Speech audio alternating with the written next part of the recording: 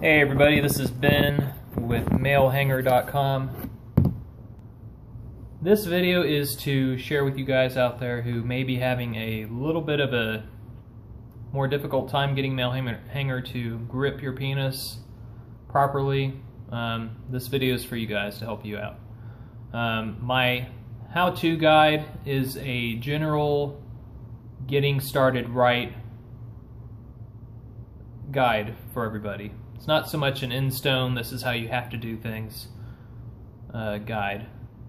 There's room for experimentation because even though most of us are in fact physiologically composed of the same things, blood vessels, tissues, erectile tissue, all that stuff inside our penises.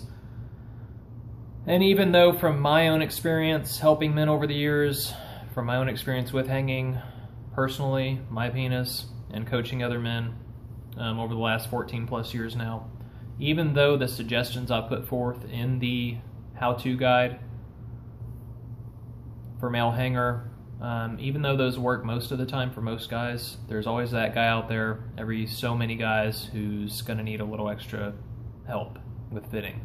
So, that said, if you're one of those guys who follows the how-to guide, and just can't seem to get male hanger to grip your penis tightly enough, no matter how tight your hanger is, the first thing you want to do is experiment with your wrap. And the first thing I suggest messing with or experimenting with is in fact your cloth wrap. Um, keep your cloth wrap and your self grip or ace wrap, whichever brand you went with for the self adhesive wrap, the same length as suggested for you in the how to guide based on your girth.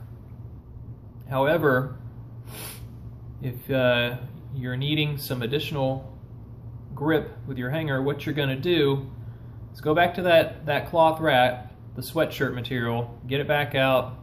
You should have plenty left over. Um, cut us another piece that's the same length, but twice the width. Use a piece of self-grip wrap as before for a stencil. Um, lay it out like you would to get the proper length for your cloth wrap and then cut it to twice the width.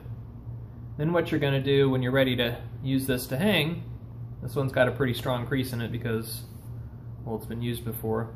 Um, you just fold it in half, right on top of itself, lengthwise, and that should give you the extra bulk when you wrap your penis to hang that your hanger should now fit more tightly. If this for some reason does not work right away, try yet another piece of cloth, same idea, but add another inch to the length and go with that. That should dial things in for you. If you find all of a sudden, well, now the hanger's way too tight and I can't crank it down to where the teeth are tightening like they should be on top, then we can start backing out those bottom hanger settings a little bit.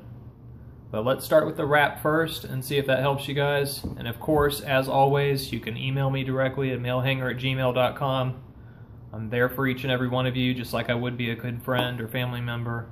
Um, or if you want to share your questions on the support forum so even more guys can learn from your questions and experiences, that'd be even better. Thanks for watching, guys. Look forward to seeing you on the forum and helping you with your efforts.